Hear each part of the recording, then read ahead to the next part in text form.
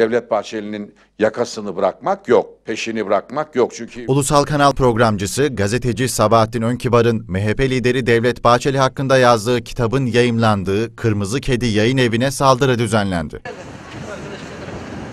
İstanbul Beyoğlu'ndaki kitap evine gelen yüzleri maskeli iki kişi işletmenin camlarını kırdı, Biri kapıyı açmak suretiyle e, Sabahattin Önkeber akıllı olsun diye bağırmış.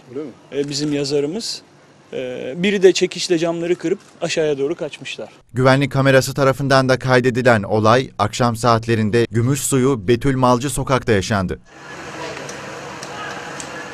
Yüzleri maskeli iki kişi yanlarında getirdikleri çekişle birlikte kitap evine girdi. Ardından da çalışanlara Sebahattin Önkibar'ı sordu.